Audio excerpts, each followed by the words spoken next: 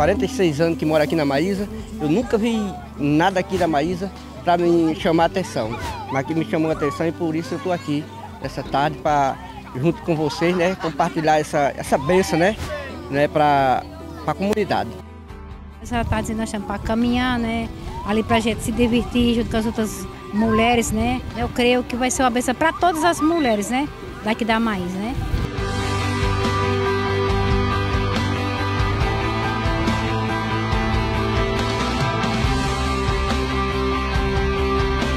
Aqui na Academia da Saúde estamos entregando um novo equipamento aqui à comunidade da Maísa, com investimento de 464 mil, onde aqui trouxemos para a comunidade a Academia da Primeira Idade, Academia de Idosos da Terceira Idade, Academia da Meia Idade para Adolescentes.